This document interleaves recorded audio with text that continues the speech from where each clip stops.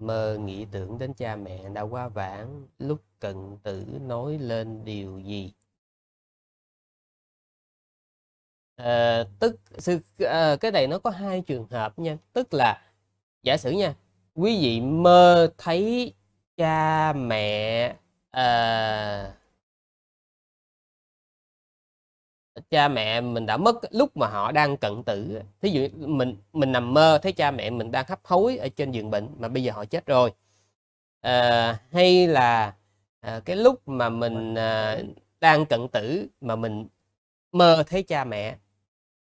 À, nhưng mà à, nếu như mà là trường hợp đầu tiên á thì do cái ấn tượng ấn tượng mà nó mạnh á cho nên là mình nhớ lại thôi chứ không gì hết à, nguyên trong có nhiều nguyên nhân sinh ra giấc mơ đó. Một trong số đó là cái chuyện mà mình bị ấn tượng đó thì nó có thể nó tạo ra giấc mơ.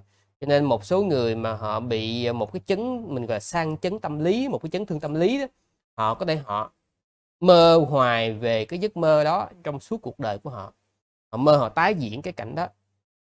Đó chẳng qua là mình bị ấn tượng tâm lý thôi còn cái trường hợp thứ hai mình cận tử mà mình mơ thấy cha mẹ đã quá vãng à, thì à, sư có một cái tin à, đó là mình đang chuẩn bị một cái vé để đi xuống. Nha. À, đó là do đâu? Do mình còn có sự ái luyến đối với thân bằng quyến thuộc. Thành ra là mình sẽ có cái vé đi xuống.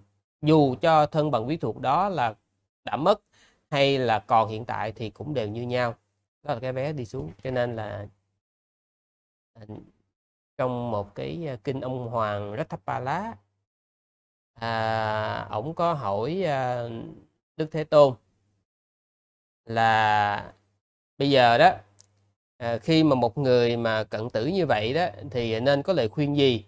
Thì có nhiều lời khuyên lắm mà một trong số đó là như thế này. Ông có à, bạn có còn nhớ có gọi là có quyến tiếc uh, cha mẹ mình hay không? Mà nhớ dụm chuyện như vậy mình có quyến quy ờ, gọi là luyến tiếc cha mẹ thì mình vẫn chết. Mà mình không có luyến tiếc cha mẹ thì mình vẫn chết. Tức là cái chết là cái không tránh khỏi. Do đó hãy buông bỏ sự luyến tiếc đối với cha mẹ. Đó là lời khuyên. Chỉ khi nào mình buông bỏ sự luyến tiếc đối với thân bằng quyến thuộc thì khi đó mình mới có cửa mình đi tiếp những cái bậc đi lên. Còn không là mình đi xuống. Ừ. chắc